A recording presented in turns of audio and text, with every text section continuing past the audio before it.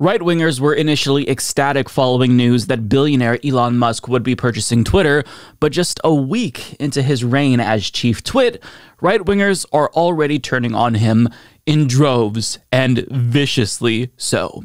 So, what set them off, you ask? Well, it wasn't necessarily the $8 verification fee that he is supposedly going to be charging, it is a particular meeting that he had and how Twitter will police hate speech going forward. So, Twitter's head of safety and integrity, Yoel Roth, tweeted We're staying vigilant against attempts to manipulate conversations about the 2022 US midterms. Read on for independent analysis of our team's work. Now, Elon Musk responded to that tweet saying that he spoke to civil society leaders and members from civil rights organizations such as the ADL, the NAACP, LULAC about how Twitter will continue to combat hate and harassment and enforce its election integrity policies. Now, he then followed up by saying Twitter will not allow anyone who was deplatformed for violating Twitter rules back on the platform until we have a clear process for doing so, which will take at least a few more weeks. Now, all it took were those two tweets, and the right collectively has turned on him because they don't want to hear that Twitter will combat hate and harassment. But that's something that advertisers want. So you're not going to attract advertisers if this becomes a dystopian, racist hellscape more so than it already is, right? So he's looking at the profitability of Twitter and how to go forward and make money, and the right just doesn't like that. So they're not happy and they voiced their outrage. Tim Pool tweeted out, Hey, look, it's complete bullshit. Lauren Chen responded by saying, Why is it in any way part of Twitter's goal to combat hate or have anything to do with election integrity? This is not sounding like a triumph for free speech. Dot, dot, dot. Jack Posobiec tweets, Every member of this group of divergent views called for Trump to be censored while he was the sitting president of the United States.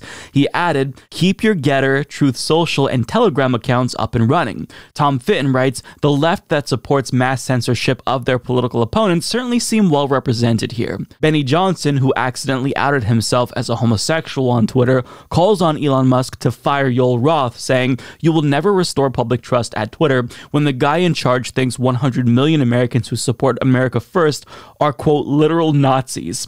And even Cat Turd has turned on Elon Musk, and Elon Musk assisted Cat Turd himself. This was one of the first things that he did as chief twit. But now Cat Turd is saying, I admit when I'm wrong, and I was 100% wrong about Elon Musk changing Twitter. The new Twitter Moderation Council is just a bunch of far left fanatic groups who were never targeted here. No average Joes, no real conservatives, no one to represent the people actually targeted. Now, Federalist co founder Sean Davis points out not a single conservative in the entire bunch. I don't think that there are any conservative civil rights groups, so that's probably why.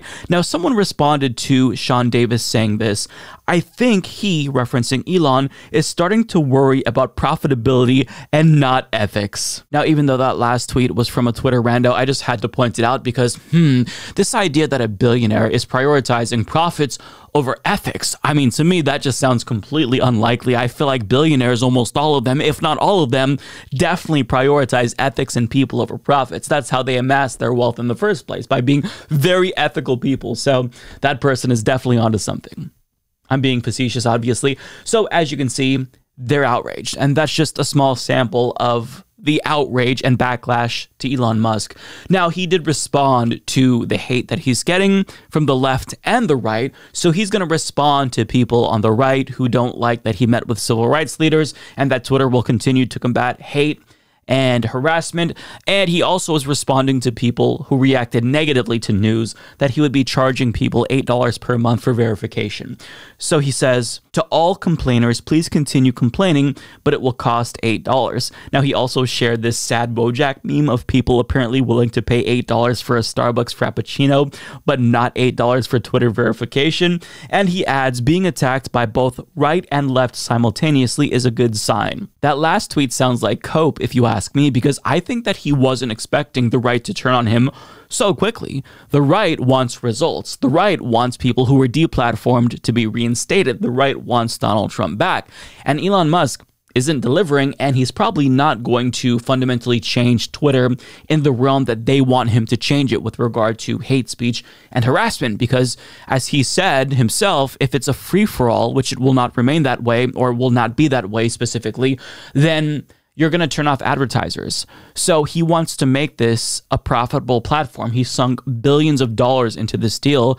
So he wants to turn a profit, which is why he's trying to charge people $8 and he's I, I guess shocked and posting sad Wojak memes because people don't want to pay $8 for verification but they'll pay $8 for, for a frappuccino. Yeah, but people aren't paying for verification currently. So unless you could substantially give us a good reason to pay money to you, then people just aren't going to do it. So I love how his response is, oh, well, you know, it's a good sign that I'm being attacked by the left and the right. Mm, for somebody like you who needs constant validation, I actually don't think that he's just secretly loving the fact that he's being attacked by the left and the right and that he feels as if this is proof that he's doing everything right. I think that he hates this. I think that he just wants to be loved. And the fact that the right is already turning on him after they made him a hero is deeply hurting his feelings, deeply hurting his feelings. So, look, I find all of this hilarious. I admit that I definitely did not want Elon Musk to buy Twitter, and I still am not necessarily happy with him buying Twitter, but it's kind of paying off in the sense that this has been very, very entertaining. I haven't cared this much about Twitter in a very long time, and I've got to say, seeing the shit show, seeing him propose these terrible ideas to try to find some way to desperately make a profit, seeing the right him tur- uh, the right wing turn on him, it may have made him buying Twitter all worthwhile in the end because I'm loving what I'm seeing so far. And I genuinely hope that the right continues to attack him because I love to see them eat their own. And especially after they boosted his ego so much to have him fall from grace this quickly. Oh, it's just, you love to see it. It's so great. So, yeah, I will continue to watch and report on the shit show because this is good stuff here, folks.